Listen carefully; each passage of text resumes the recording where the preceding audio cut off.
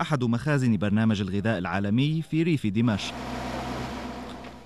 كمية كبيرة من الغذاء تدخل سوريا لتلبية حاجة نازحين سوريين هجروا داخل بلادهم. بالعشرات ينتظرون التسجيل في هذا المركز في وسط دمشق.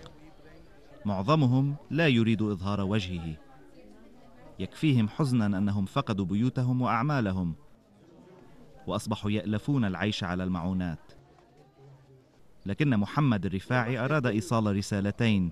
ناقص الشاي السمنة حمض مندورة مثلا آه، بالنسبة السكرات خفاف كمان 4 كيلو 5 ما بيأدوا شهرين بيأدوا.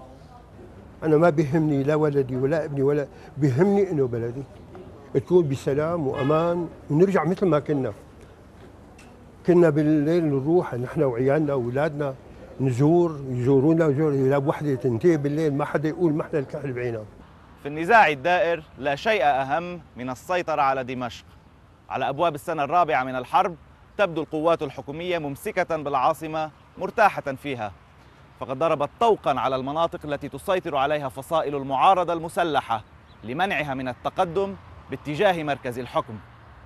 لكن وقع ذلك على سكان تلك المناطق يبدو شديد القسوة. في بعض مناطق الغوطة على سبيل المثال يخلف الحصار جوعا. يعني محاصرين الغطاء عم ياكلوا ما بدي أحكي كلمة قاسية ال- حتى الفصة عم ياكلوها. السنة عم يلفوا عواد الخبز يحلوا الحصار عنه وكل واحد يروح بحال سبيله المهجرون في دمشق وجدوا سبيلا إلى النجاة.